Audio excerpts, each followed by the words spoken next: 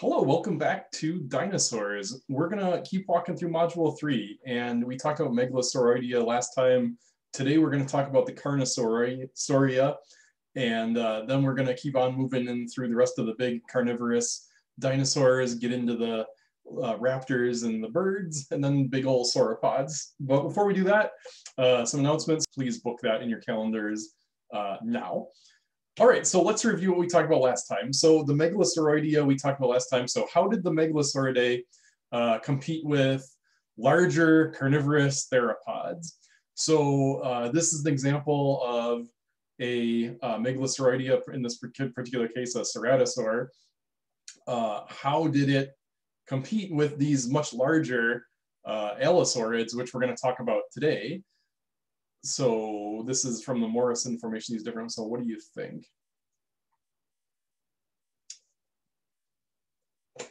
Uh, so generally, uh, these much larger, beefier, uh, stronger built uh, allosaurs, these carnosaurs, which we're going to talk about today, uh, generally uh, they had very different hunting styles than these more slender ceratosaurs. And so they probably hunted in different environments. These things are easier to get in and out of forests. They can creep into the underbrush a little bit better, navigate tighter spaces a little bit easier.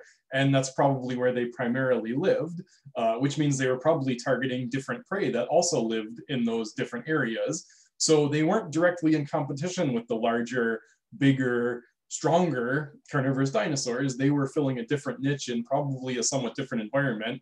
Uh, not in a different location though, they were on the same continent in the same general area. They probably did overlap a little bit with each other.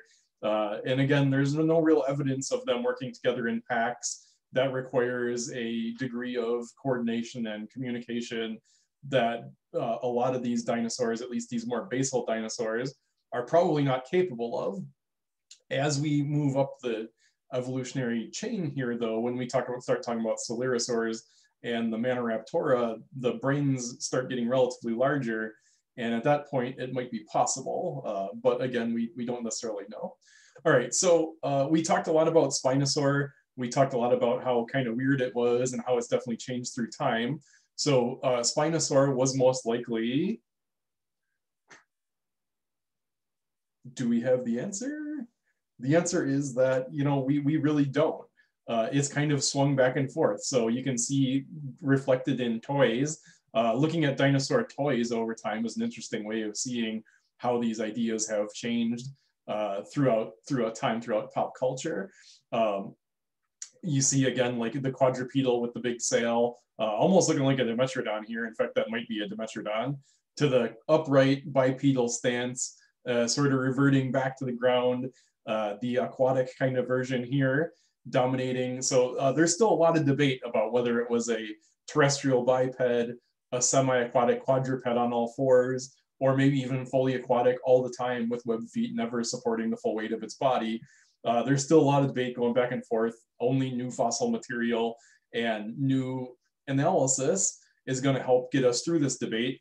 Uh, eventually, we'll probably converge on something that we're a little bit more comfortable with. But right now, there's evidence pointing in kind of both directions. And so it's very difficult to align on what the true nature is. But uh, in theory, over time, we'll get more information. And with more information, we'll make better, uh, more informed uh, predictions and interpretations. And if new information comes along, we'll revise again. That's the scientific process. All right, so let's take a look at the theropoda cladogram. So again, uh, we're going to talk about sauropoda, sauropodomorpha at the end of next week, uh, the big uh, quadrupedal herbivores. Uh, we've been talking about theropods, the bipedal carnivores. We talked about the basal members here, Coelophysoidea and Dilophosaurus. Uh, we talked about them. We talked about the ceratosaurs, the abelisaurs. We talked yesterday about the megalosauroidea, the spinosaurs, megalosaurs.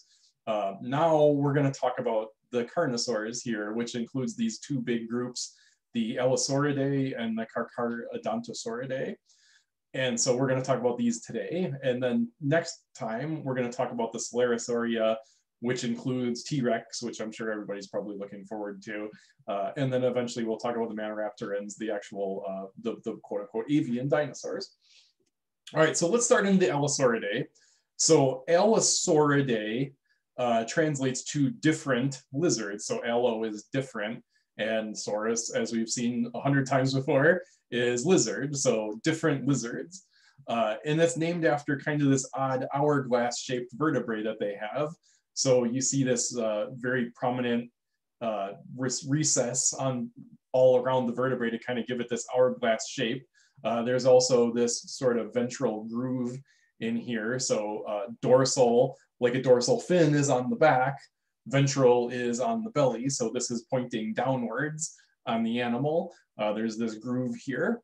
Um, these uh, reductions in the skeletal mass here are probably to kind of lighten up the skeleton.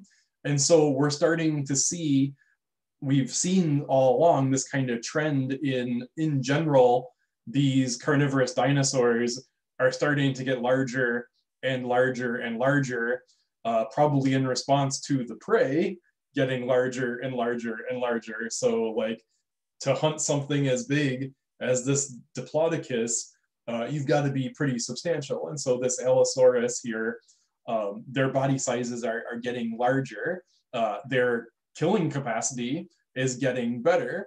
Uh, they're developing new and different, more effective hunting strategies. So we talked about before kind of the limited bite capacity where those earlier blunt-nosed dinosaurs uh, might have had to have relied on kind of death by a thousand cuts and more like pursuit predation where they were constantly just kind of picking at and just finally just tire it out from blood loss and just running it out.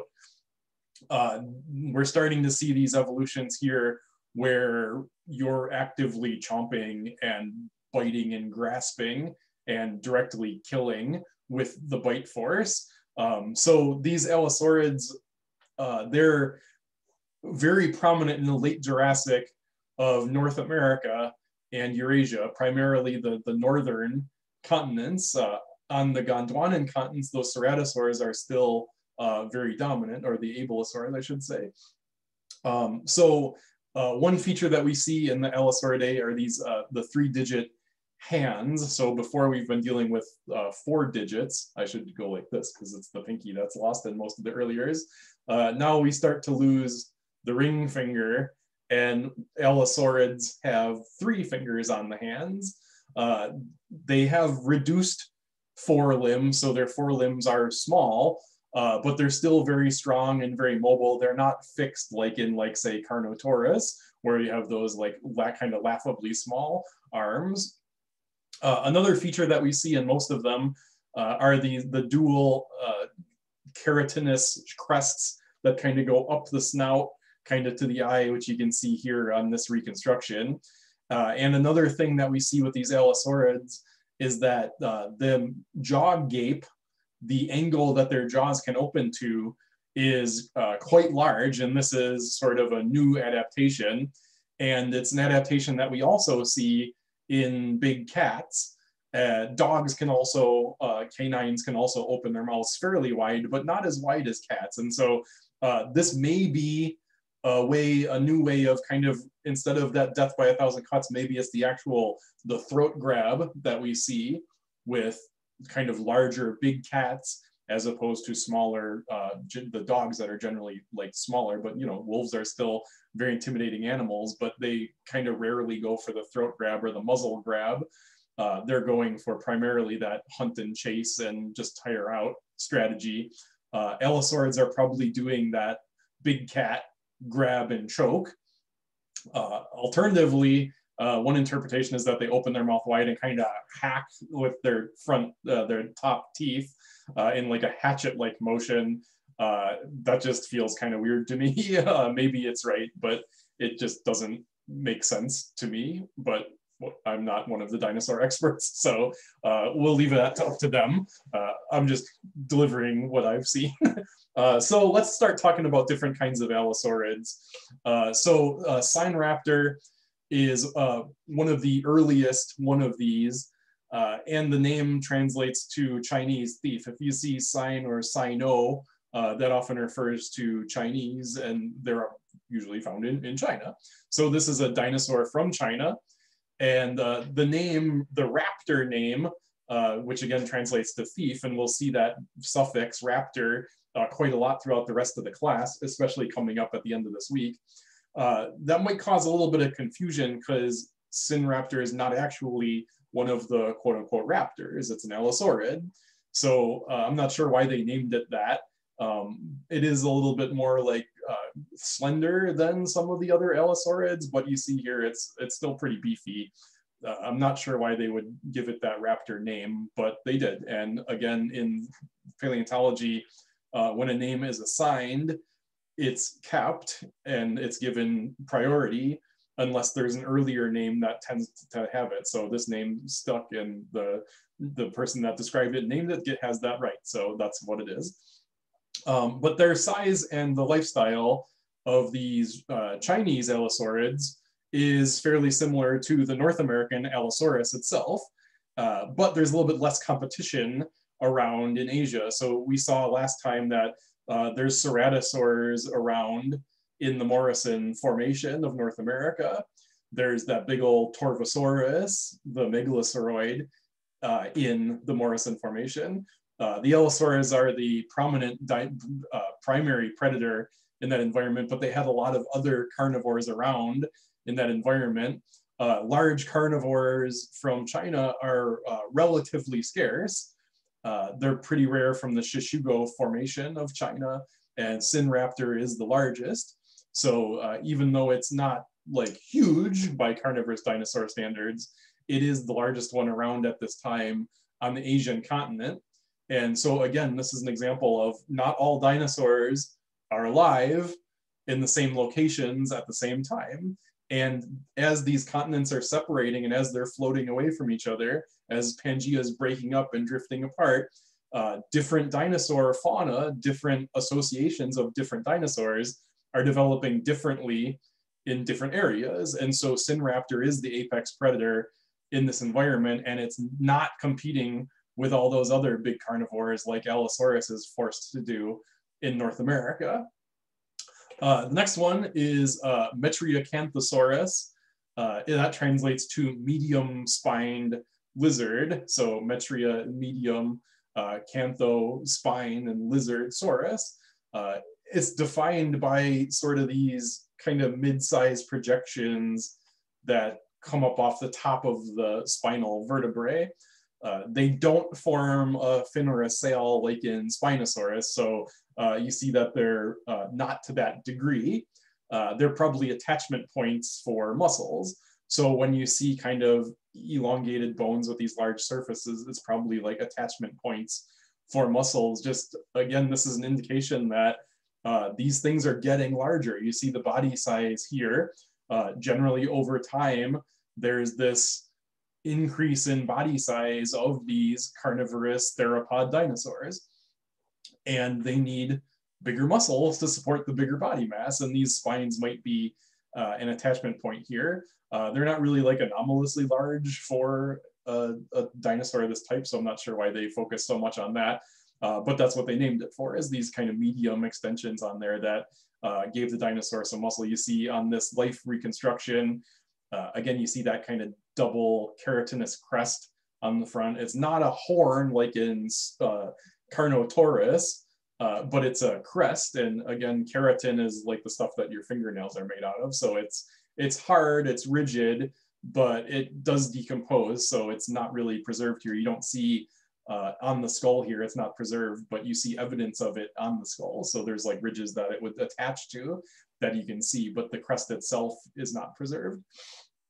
Um, there's also uh, Yangchuanosaurus in China that, um, so this is a, a European specimen. Uh, it may be equivalent to something in, in China. And again, uh, so there might be some other um, sort of larger carnivores in China that we have a little bit less evidence of or a little bit more sparse evidence for. Uh, so moving on to Allosaurus itself. So Allosaurus is, is the species that this whole group is named for. Uh, it get translates to different lizard, again, because that odd hourglass shaped vertebra that probably reduced weight. Uh, you start seeing the bones becoming kind of hollow. So again, we're starting to see this kind of weight savings as the theropods are evolving over time towards the kind of birdline dinosaurs, we're starting to see these adaptations that are leading towards that, or we're starting to reduce the skeletal weight, starting to get more windows in the skull to reduce the skull weight, starting to get these air sacs in the body. We're starting to lighten up the body frame, uh, even as body size overall is sort of increasing. And so again, uh, this is the dinosaurs of the Morrison Formation figure that we've seen before. Uh, here's Allosaurus fragilis, the most common one. Uh, there's Epanterias and Saurophaganax, which we'll talk about in a bit, but uh, these are probably just larger uh, allosaurs. And so, but again, we're competing with Torvosaurus, Ceratosaurus. Uh, there's other large carnivores around in the Morrison of North America, but Allosaurus is by far the most numerous, most successful. It uh, makes up 75% of carnivorous specimens. So if you're in the Morrison and you find a theropod carnivorous dinosaur tooth or fragment or something like that, uh, it's the majority of the time it's going to be from an Allosaurus just because there are just so many of them. Uh, they did have competition, but they were winning that competition. They were very, very numerous. Uh, you can see by the size that they're not tremendously large. So like compared to something like a Tyrannosaurus rex, uh, Allosaurus, at least most of the Allosaurs, were um, a little bit smaller, but still compared to a human, quite large. Uh, so they would be like mid-sized, although I would call them large and I would call the others probably extra large. Um, so they're probably fighting, uh, I should say, they're probably hunting sort of mid-sized sauropods, uh, mid-sized healthy adult sauropods. Uh, they're probably not taking on the full-sized healthy adults. And again, what we see in like modern predators is that uh, again being a predator and attacking and a very large herbivore is, is a dangerous game. Uh, even something like a gazelle or a wildebeest or a zebra uh, they're very muscular they're very heavy they're very stoutly built they've got hooves they're really good at kicking uh, and if you've ever been bit by a horse uh, that hurts too uh, even though they're not carnivorous, like bites still hurt. Uh, they have a lot of different ways of defending themselves. Uh, and that's very true of the sauropod dinosaurs as well. The herbivorous dinosaurs, uh, they're not going to go easily. They're not going to get taken down easily. And so if you're a carnivorous dinosaur, you don't want to take on a full size, healthy adult just like animals have strategies for kind of winnowing out the herd and trying to separate off slower, sicker, older animals, that's probably what was going on here as well. Um, if a large adult was sick or injured, then they might be able to take it on there, but they weren't going to be attacking the gigantic, healthy adult individuals in most cases. Um, one thing we see is that, again, the, the body size is increasing here. These things are becoming kind of more and more dangerous over time. Uh, what we don't see though is that the brain size is still relatively small uh, compared to the body size. It's not really growing at a relative rate. And so uh, later on, more derived theropods, like again, Tyrannosaurus rex, uh, we've talked about T-Rex brain and how advanced it was and how good their vision was, how good their smell was, uh, how good they could hear kind of low frequency sounds. Uh, that's probably not quite as true of Allosaurus. Uh, not saying that they were stupid or slow, but they weren't at that level. So uh, moving along to uh, and again, uh, that's kind of one of these larger allosaurids. In fact, it may just be a very large specimen of Allosaurus maximus. It might just be a, a, a new name for something that's already described. Uh, so as these dinosaurs grow, they change their size. And so like it's very difficult to separate like a young juvenile of a species from like is that a small a big enough body change to be a whole different species or is that just a juvenile of a different species or like a very old adult that's had its full life to grow and reaches like an abnormally large size uh, in some cases that could be interpreted as a totally different species because it's much larger than most of the other ones that we found. And so we see this a lot of times where uh, these larger specimens are given like a new genus name, and they may in fact just be larger specimens of a genus that's already been named. Uh, so Saurophaganax may in fact just be a large Allosaurus maximus, but uh, its name translates to ruler of lizard eaters, so phage is to eat. Uh, and it's the largest known Jurassic carnivore. So of all the carnivorous dinosaurs on all the continents during the Jurassic, uh, Saurophaganax is probably the largest. Uh, and it was preying on sauropods. It was a sauropod specialist. It was probably taking down these large herbivorous dinosaurs of the Morrison Formation. I hadn't even really been showing these large herbivorous dinosaurs of the Morrison Formation because those earlier, uh, more basal theropods probably weren't able to take these things down. They were could probably feed on the juveniles, they could probably feed on the sick or the old, but uh, these massive carnivores, uh, they would maybe go after the adults, but they would still probably struggle. Again, look at the size of these things. Uh, here is a human for scale. Uh, here is Saurophaganax at about the same scale. You can see the humans here are about the same size. Uh, Diplodocus, uh, Brachiosaurus, just massive. Again, here's a Brachiosaurus compared to an elephant for scale. These things are huge and they're very dangerous. Look how muscled it is. Look at the musculature on the neck. Look at the musculature on the tail. Diplodocus has this long whip tail. There's lots of ways for these things to defend themselves. They've got these pointy, like hooved almost feet. Uh, it's not an easy game. And so even the massive carnivorous dinosaurs probably would have avoided directly taking on uh, Diplodocus. In fact, you can kind of see here, this is a skeleton of Saurophaganax compared to a, a Diplodocus, and you see the relative size here. Uh, it barely comes up to its knee. So it's going to be tricky to take on these large, large dinosaurs. Uh, and you've got to kind of use the strategy to separate out the weaker individuals, separate out the younger individuals, separate out the injured individuals. Um, and so back to the cladogram here, uh, that's the Allosauridae. Uh, now we're going to talk about the Carcharodontosauridae. So Carcharodontosauridae, the name is getting really long here. I almost had to change the font size so it would fit. Uh, it translates to shark tooth lizard. So Carcharodon is the genus name for uh, sharks that great white sharks belong to. So specifically it's great white shark tooth lizard. It's named for the shape of their teeth and the wrinkled enamel of their teeth. So you see here, these are some Carcharodonto sort of teeth. And you see the wrinkles in the enamel along this way. You see kind of that uh, pseudo serrated edge there. Uh, and this is a comparison to great white teeth.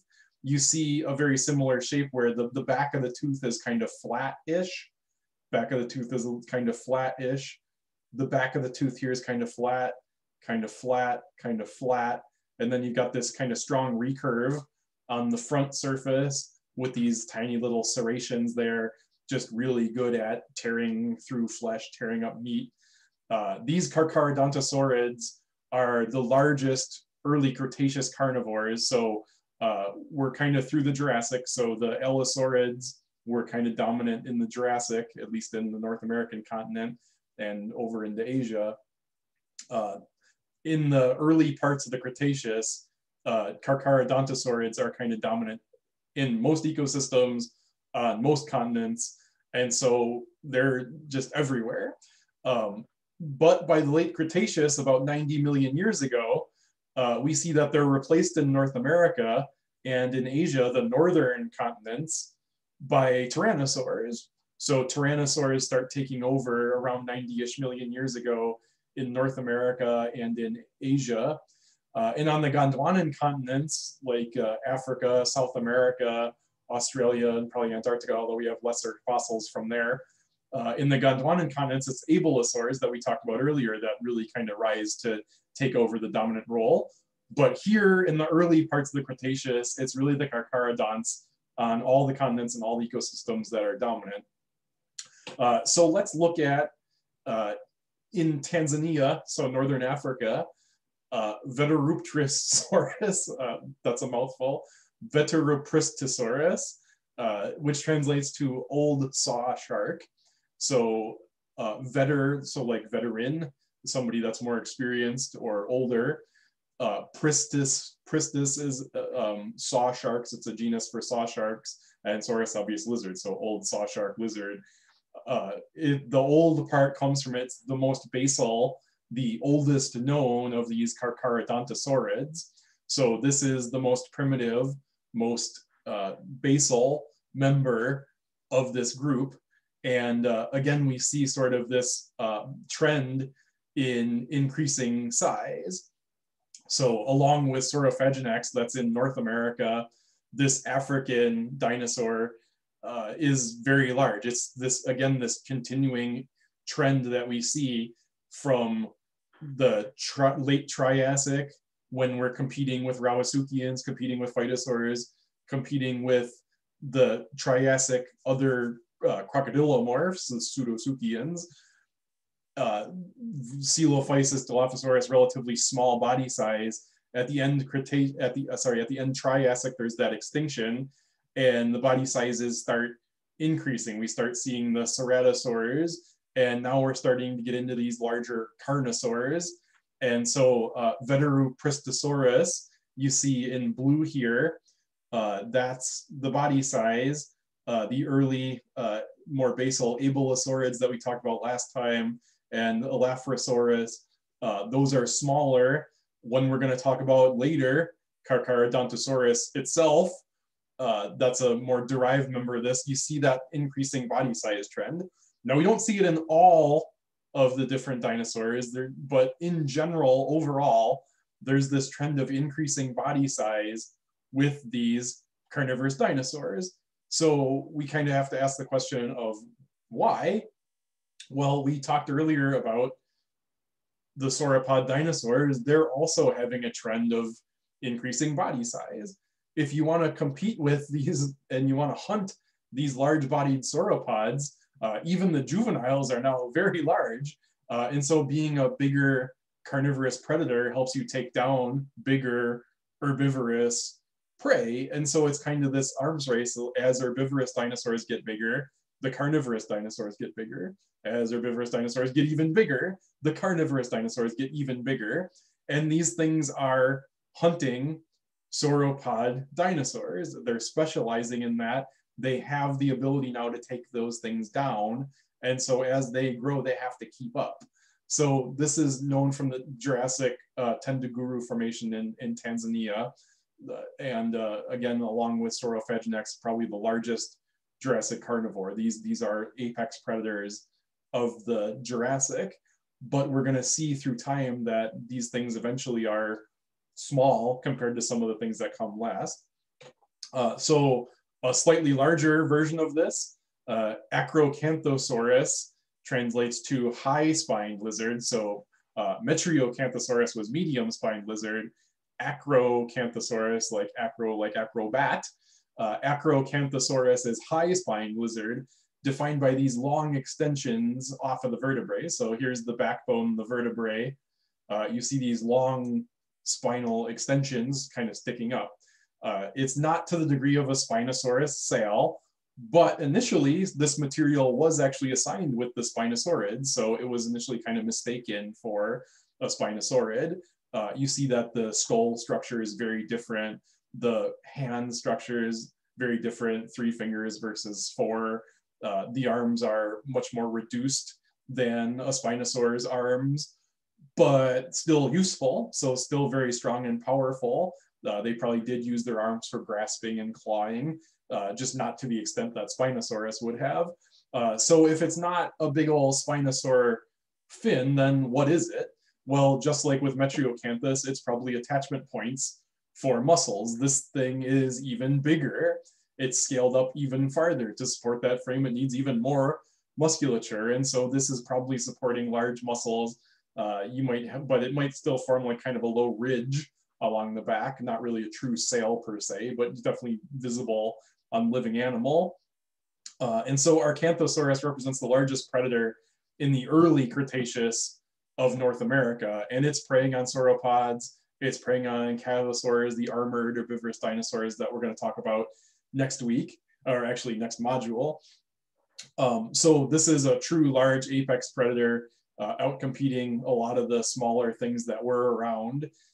And again, this is this increasing body size going from the Triassic really small, Jurassic bigger, kind of getting into larger sized dinosaurs, uh, into the early Cretaceous, we really see this scale up of these predatory dinosaurs, but not everywhere. So uh, if we go to Europe, uh, Concavenator uh, translates to uh, Cuenca, Cuenca hunter, uh, named for the Cuenca province of Spain, and hunter because it, it's a predator, it's, it's hunting for its living.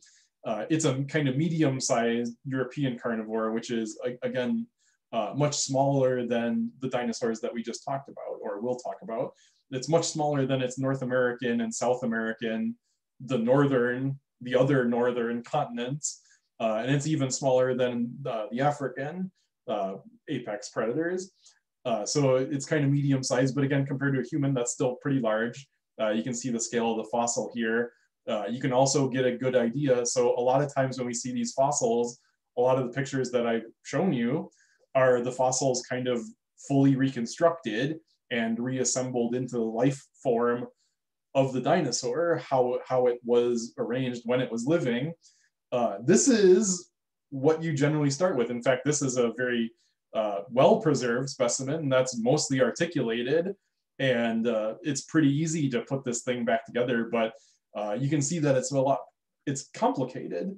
Uh, putting these things back together is a very elaborate 3D jigsaw puzzle. And even in this case where it's mostly still together, it can be tricky to put it back into life position. And again, we've seen, uh, for example, putting the skull on the wrong end of that plesiosaur. Uh, those sort of mistakes happen here because it's a pretty complicated game. Eventually those mistakes come to light. But uh, one thing that's very uh, interesting about this particular specimen is that it has this kind of weird hump, uh, kind of right in uh, a little bit uh, frontal of the, the pelvis. And so what is this? So again, that form follows function. If you see a weird form on something, uh, why is it there? What does it do?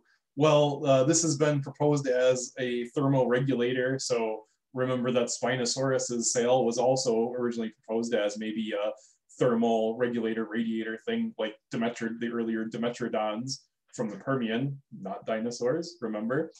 Um, so maybe it's just a thermal regulatory thing. Uh, again, the default, if you have a feature that is kind of anomalous and you don't really know how to explain it, uh, maybe it's a display thing. Uh, another thing that's interesting is that kind of up on the top uh, upper portion of the arms, uh, there's some uh, little bumps on the bone that have occasionally been interpreted as quill knobs. So if you look at modern bird bones, especially on the wing bones, uh, in some in some cases you can actually see little knobs where the flight feathers would attach, where the larger, more prominent feathers would attach. They actually leave scars. There's actually evidence of the attachment points on the bone called quill knobs. Uh, there are some bumps on the upper portion of the arm here that's sort of been interpreted as quill knobs but other researchers have said kind of the, the location kind of really high up on the arm, and then also kind of the spacing is a little bit weird for quill knobs. But uh, if it is quill knobs, it's the only evidence in carnosaurs of feathers. And so again, there's this significance of if we see evidence of feathers in one member of the one branch of this tree, there's implications for the other members around it on the tree.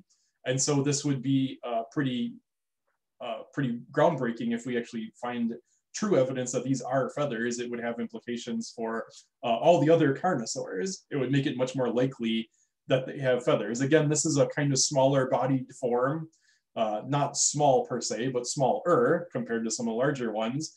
Uh, if any of the carnosaurs had feathers, we would sort of expect it to be some of the smaller members. And so, you know, maybe it was, maybe it wasn't. Again, we don't know at this point. Uh, there will be more examination of the fossils that we have, and there will be examination of fossils that we may find. Hopefully, find more material, and again, kind of just keep locking in on a more and more correct answer over time. uh, it might be proven that they're not quill knobs and that will be thrown out, that idea will be thrown out and replaced by whatever comes next. So always kind of in theory, con converging on a, a more correct version of the truth. But again, because we don't have a time machine, we're never going to be able to go back in time. We're never going to be able to see these things alive and living and behaving. And all of our reconstructions are wrong to some degree. Uh, a lot of them are probably useful though. And, and again, like all these paleo arts, it's just nice to see the flesh put on the bones. Uh, there are artistic liber liberties taken here. There are educated guesses, but it's done with knowledge of what this, what the bone structure is on this animal, what the bone structure is on other closely related animals, looking at bone structure on modern living animals, and just trying to put together the story and making the best educated assumptions and inferences and interpretations that we can. Uh, the next one is uh, Shaochilong. Uh, I probably butchered that name. Uh, sorry, I need to work on my Chinese pronunciation. Uh, I definitely should spend time doing that.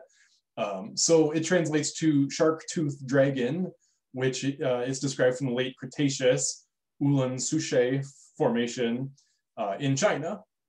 So it's a Chinese name that translates to shark tooth dragon because it was found in China and described by Chinese researchers uh, it's another one of these kind of medium-sized carnivores. It's not as large as some of the others that we've talked about today.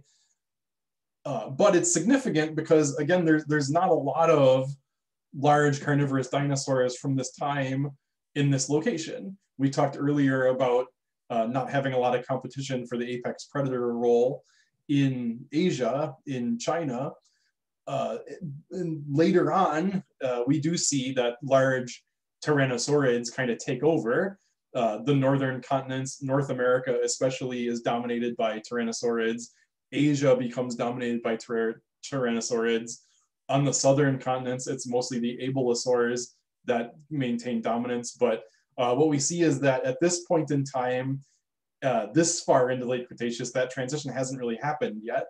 So these are still the dominant apex predators. Uh, that shift is sort of this weird timing sort of coinciding all around the globe where there's this rapid change in who are the dominant apex predators and it sort of corresponds at least roughly with a shift in who are the dominant sauropod herbivores there's this transition between the large uh, diplodocus brachiosaurus apatosaurus sauropods and then towards the end of the Cretaceous, uh, right up to the extinction, the herbivores start to be dominated by uh, the hadrosaurs, so the, the quote unquote duck-billed dinosaurs.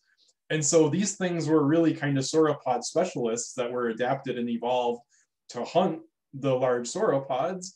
Uh, when the large sauropods start fading away, uh, maybe because of a climate shift, uh, Earth might be getting a little bit drier here, less vegetation, uh, something along those lines. Something happens to the climate. There's a shift away from sauropods and towards hadrosaurs on the herbivore side.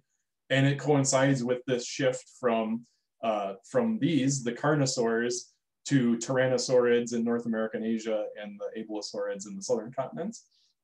Uh, but uh, before that happens though, uh, Gigano, Giganotosaurus, so not Gigantosaurus, that's a different dinosaur, uh, it translates to giant southern lizard.